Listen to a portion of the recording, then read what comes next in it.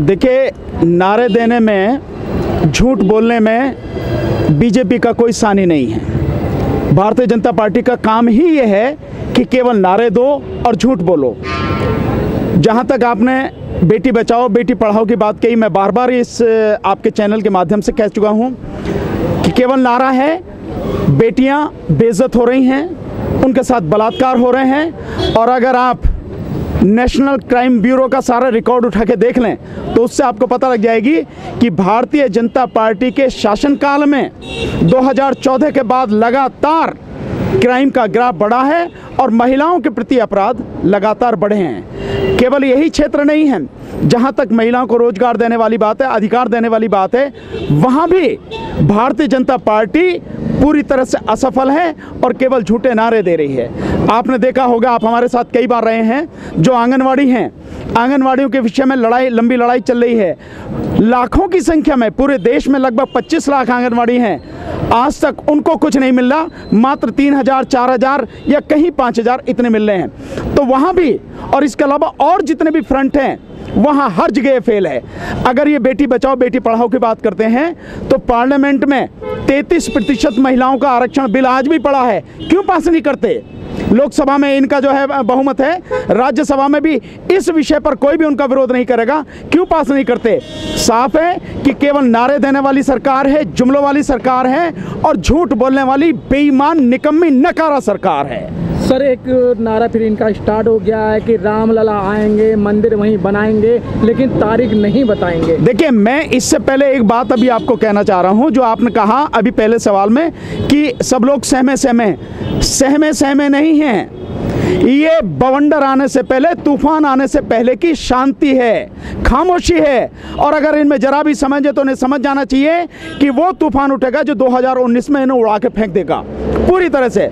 जहाँ तक आपने अभी बात कही कि जो कैसा भी ये बीजेपी वाले जो हैं, रामलला वहीं बनाएँगे, मंदिर वहीं बनाएँगे, कभी मंदिर बनाने वाले नहीं हैं ये। ये बेईमान, मक्कार लोग हैं सीधे के सीधे।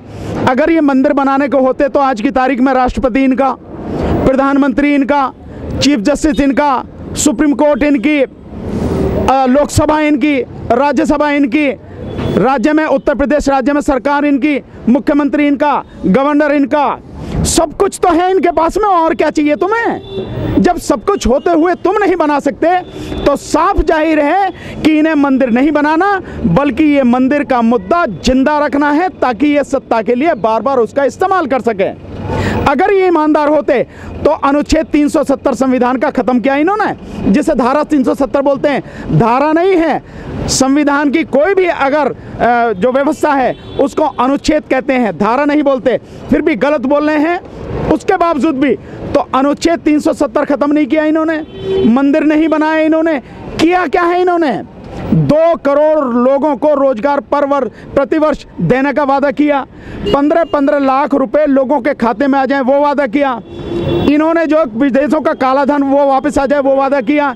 इसके अलावा 625 नाम इनके पास आ गए। सुप्रीम कोर्ट कहती रही, वो सुप्रीम कोर्ट को नहीं बताया इन्होंने। कौन सा वादा पूरा किया? युवाओं को बेरोजगार कर दिया। नोटबंदी लागू करने के बाद में चार करोड़ से ज़्यादा लोग बेघर हो गए, बेरोजगार हो गए। और जिस बात के लिए नोटबंदी करी थी, उसमें से एक भी ना तो आतंकवाद खत्म हुआ, ना भ्रष्टाचार खत्म हुआ, ना काला धन आया, और ना ही जाली नोट निकले, वो जाली नोट बनने बंद हुए। तो हुआ क्या है पूरा? ये बेईमान, झूठी मक्कार सरकार है। लेकिन सर, आप कह रहे कोई वादे पूरे नहीं हुए। मोदी जी ने ये कहा था कि हम पूरे इंडिया को कैशलेस कर देंगे। तो अभी आपने देखा ना, कुछ बैंकें कैशलेस कर दी ना सर? नहीं, मैं तो पहले भी कहा इसको। इनका कैशलेस का मतलब ये है कि कैसे मत छोड़ो बैंकों में। तो ये नीरव मोदी, ये ललित मोदी, ये माल्या, ये विक्रम कोठारी, ये ये ये वो, ये सारे के सारे कैश लेके भाग रहे हैं। और आपको आप बता दूँ, पिछले चार साल में इस देश से पंद्रह हज़ार से ज़्यादा अरबपति देश छोड़कर विदेशों में बस चुके हैं। तो ये कैशलेस हो गया, नहीं होगा इसमें कैश ही नहीं रहेगा, अपने आप कैशलेस हो गया। ये सरकार है ये। ये कैशलेस वो वाली सरकार नहीं है कि आपको कहीं भी जाएँ तो कैश लेके चलना नहीं पड़ेगा। आपको क्रेडिट कार्ड से जो बाकी और कार्ड हैं, उनसे, एटीएम कार्ड से, उनसे काम चल जाएगा। नहीं, वो नहीं है। ये कैशलेस का मतलब है, इस देश में कैसी मत छोड़ो। ये है इनका काम। लेकिन सर, ये आपको नहीं लगता कि आप लोगों की भी कहीं ना कहीं कमी रही हो? जब बाबा साहब ने बड़े दुख पीड़ा से ये बोला था कि जिस समाज के अंदर 20 हमारे वकील होंगे 20 डॉक्टर होंगे 20 इंजीनियर होंगे तो हमारा समाज को कोई पिछाड़ने वाला नहीं और हमारा समाज आगे बढ़ेगा। नहीं, मैं आपकी बात से सहमत हूँ। इससे मैं इस तरह से कहूँगा कि जो आप कह रहे हैं वो अपनी जगह सही है, क्योंकि समाज भी गुम रहा है। समाज भी सही बात कहने को तैयार नहीं है। अगर कोई सही आवाज़ देता है तो उसके साथ जुड़ने को तैयार नहीं है। जिसका नतीजा ये है, अभी आपने देखा, दो तारीख को भारत बंद की घोषणा की गई और पहली बार सफल भारत बंद हुआ। लेकिन उसके बाद जो पुलिस ने बर्बरता का नंगा नाच कर रखा है और तांडव मचा रखा है, बहन बेटियों की इज़्ज़त आबरू से खेल रहे हैं, निर्दोष लोगों को घसीट कर लाते हैं, थाने में बंद करते हैं, पिटाई करते हैं और उसके बाद झूठी एफआईआर करके जेलों में बंद कर रहे हैं और ये सिलसिला लगातार जारी है।